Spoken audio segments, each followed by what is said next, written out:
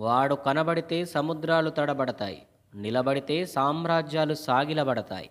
వాడి పొగరు ఎగిరే జెండా వాడి ధైర్యం చీకట్లను చీల్చే మండుటెండ వాడు భూతల్లి జనబాలు తాగిన మన్యం మొద్దుబిడ్డ నా తమ్ముడు గోండు బెబ్బులి కొమరం భీం అంటూ వచ్చిన ఎన్టీఆర్ ఇప్పుడు టాక్ ఆఫ్ ది టౌన్గా నిలిచాడు.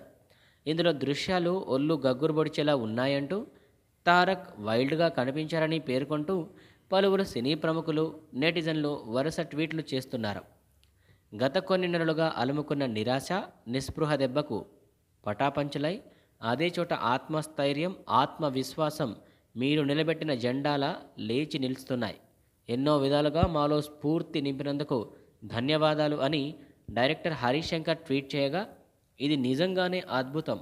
తారక్ నువ్వు చాలా గొప్పగా కనిపించావు. రామ్ చరణ్ అన్న నీ వాయిస్ ఓవర్ బాగుంది. మీ ఇద్దరిని స్క్రీన్పై చూసేందుకు ఎంతో ఆతృతగా ఎదురు చూస్తున్నాను అంటూ వరుణ్ తేజ్ రాసుకొచ్చాడు.